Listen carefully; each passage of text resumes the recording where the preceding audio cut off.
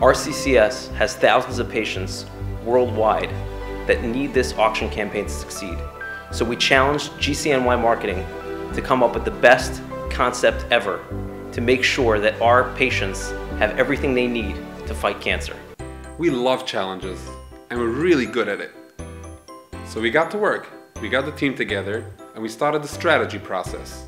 As we began collaborating, we knew this has to be big. Bigger than together, bigger than yellow, bigger than emojis, bigger, better.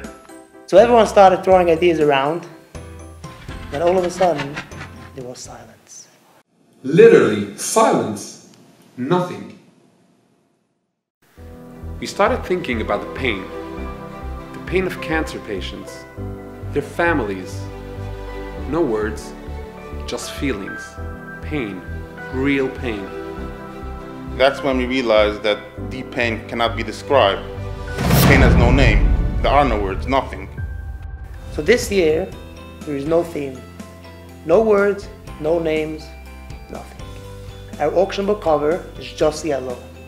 Because no words can express true pain. You'll see it everywhere. Less words, shorter prize descriptions, billboards that just say, this is the RCCS billboard. Because there are no words.